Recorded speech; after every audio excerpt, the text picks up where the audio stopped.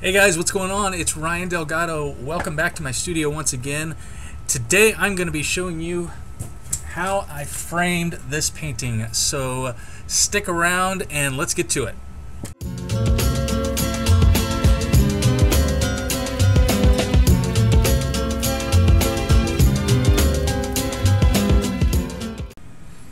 All right, here we go. Um, let me just uh, show you what I got here. Of course, I got the frame. Uh, I got my painting then going to be putting in the frame. This is just my little self-portrait. Uh, I have not varnished this yet, so this is not going to be a permanent framing job. Um, I'm going to be taking it out as soon as I get done here, but this is just the demo on how to frame it, so I'm going to be going through the entire process of, of framing it.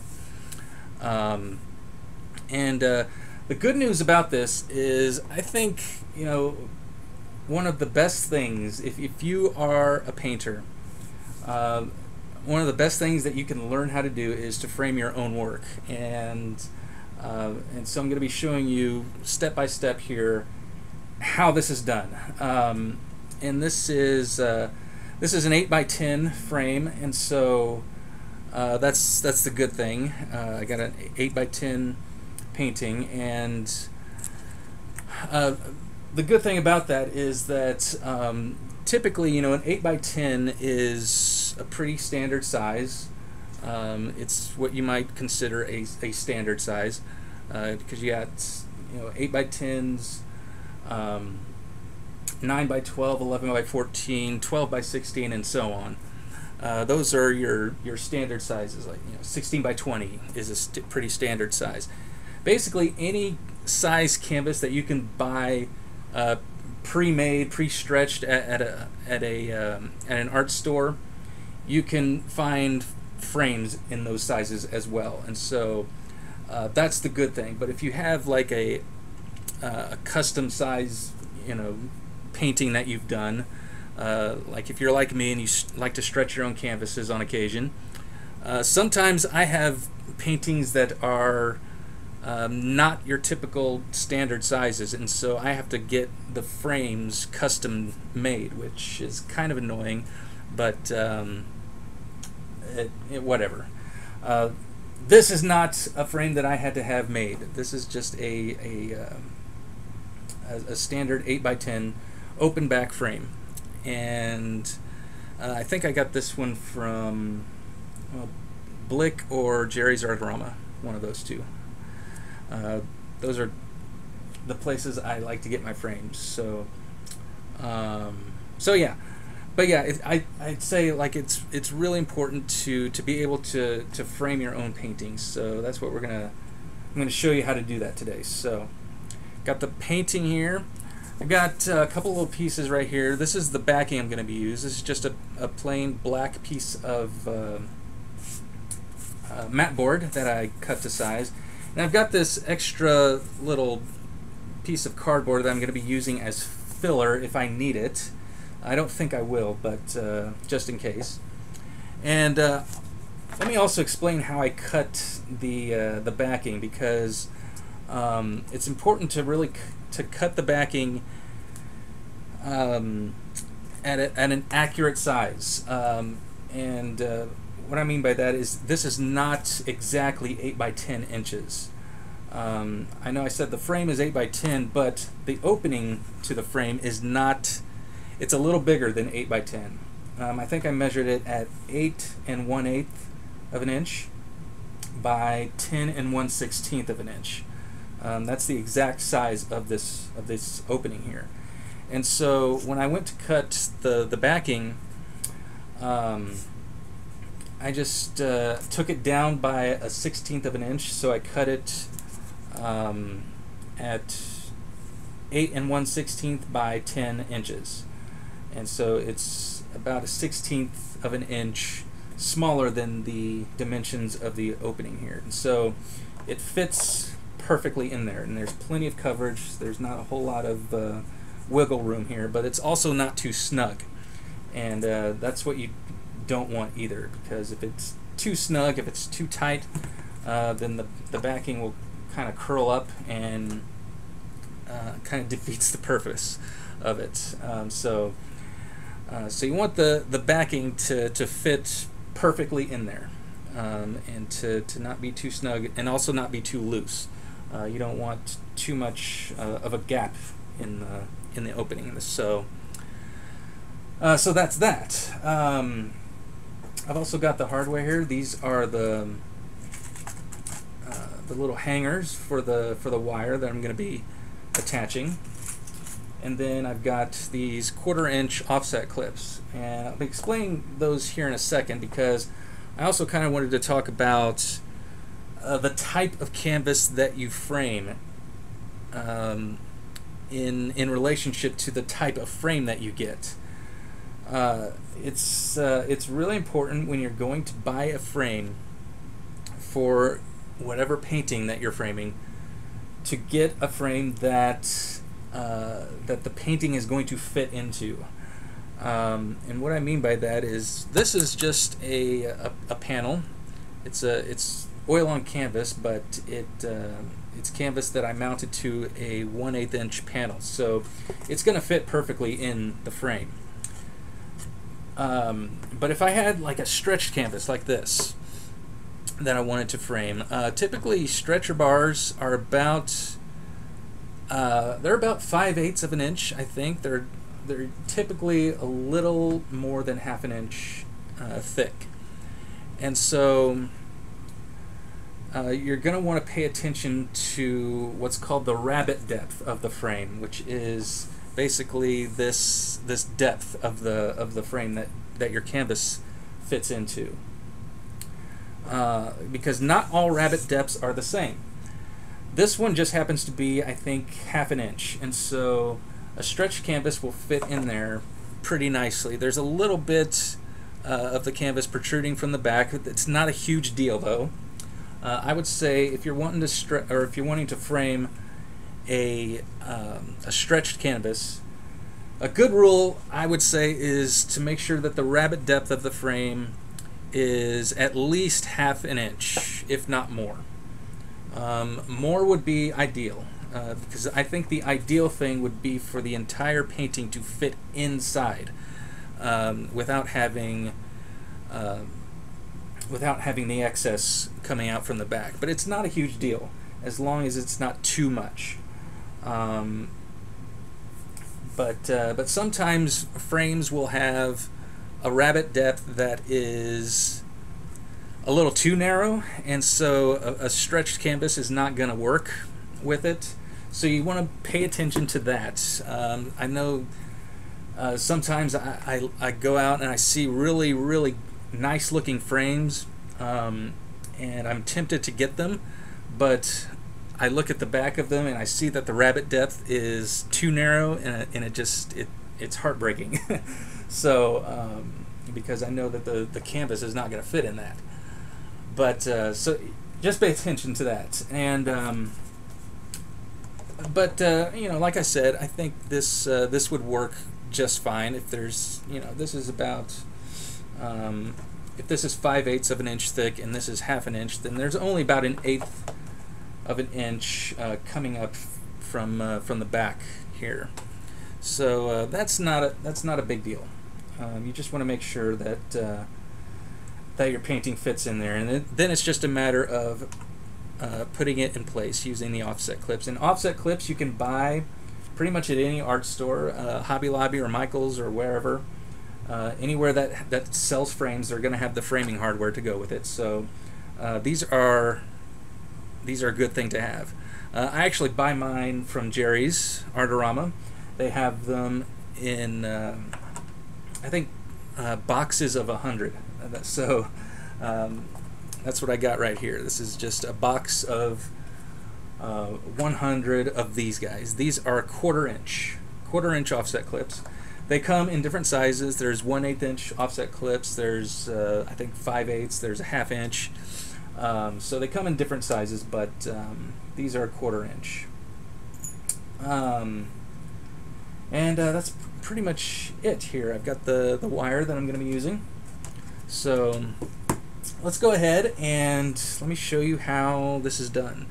Uh, it's really simple. Um, like I said, if you are an artist and uh, and, and you, you do paintings, um, I think it's an excellent thing to be able to frame them uh, by yourself instead of taking it to a framer and having it done for you.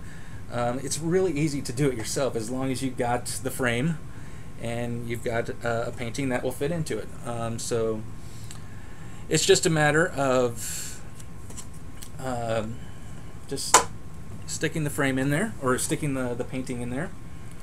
And let me see, I don't think I'll need the filler. I, I won't. Um, I, I had the filler just in case, but I think we'll be able to just put the backing in just like that.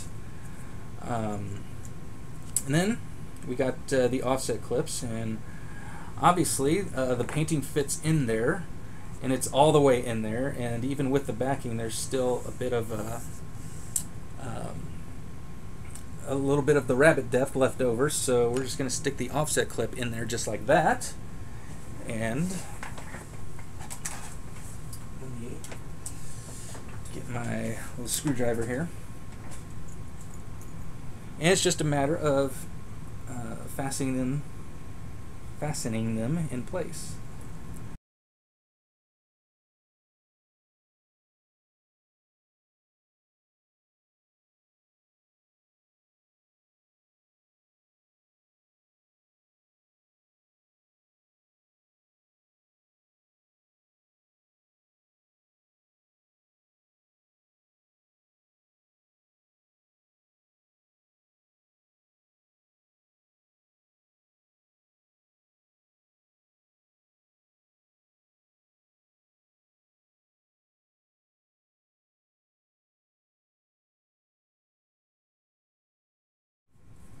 All right, so um, we've got uh, the offset clips uh, fastened in place, and I'm going to measure, um, I think, let's see,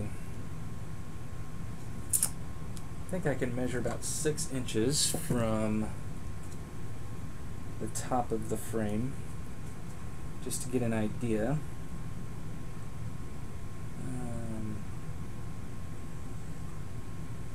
Actually, we'll do.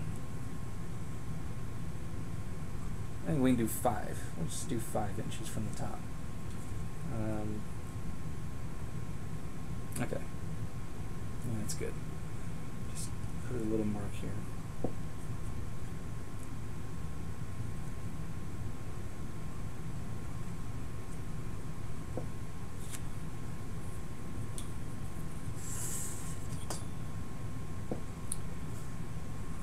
And uh, you, you, don't. I mean, because you don't want to go too far down on the, from the top of the frame, but you also you don't want it to be too too close to the top either. Um,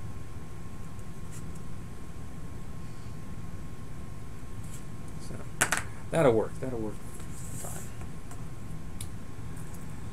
And then from here, it's just a matter of fastening the, the hangers in place. I'm, a, I'm just kind of guesstimating the, the center here of, of the frame.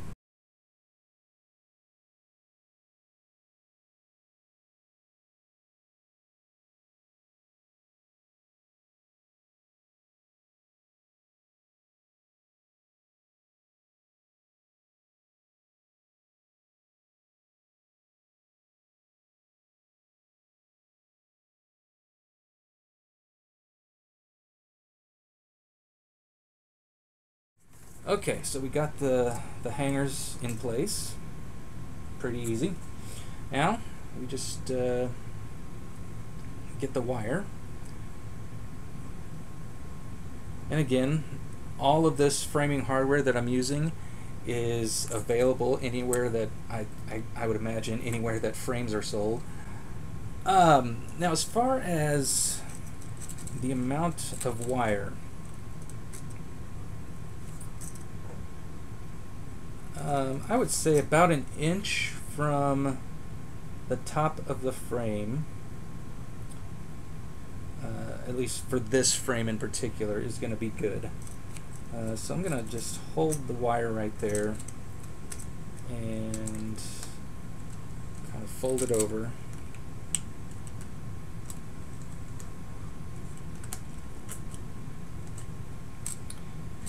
And that'll work just fine. Will work just fine. So now it's just a matter of coiling the wire around here. And there are different ways to, to coil it. Some, you know, you can uh, loop the wire through here in different ways and as, uh, as you want. Uh, I'm just going to loop it through once and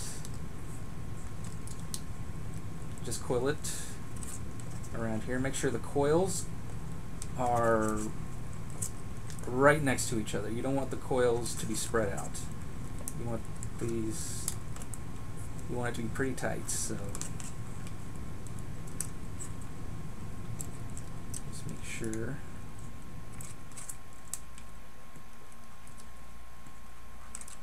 that the coils are right up against each other.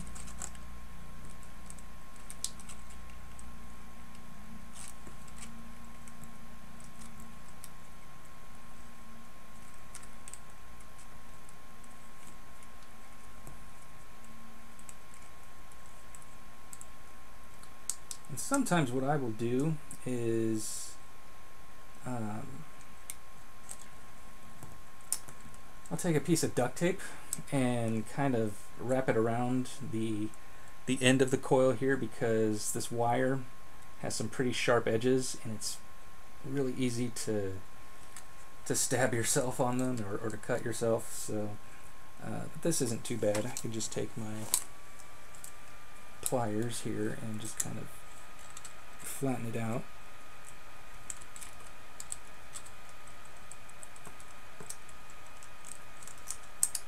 it should be alright. Yep, that's good. Alright, so as you can see the, the coils are really nice and, and tight. Uh, just going to do the same exact thing on this side. Just coil them around. Alright, and that's it. This uh, painting is framed. So let's check it out. Um, now I usually uh, just hang this on a wall to test it out, to test uh, the strength of the, the wire, but it, I'm pretty sure this is going to be just fine.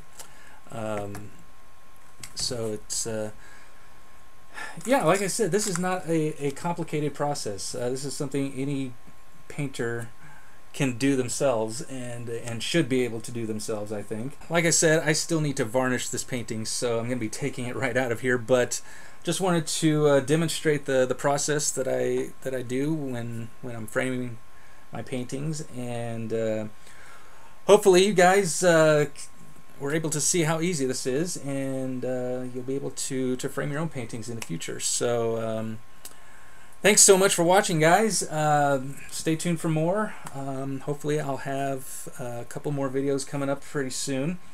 But uh, in the meantime, take care of yourselves, and God bless you all.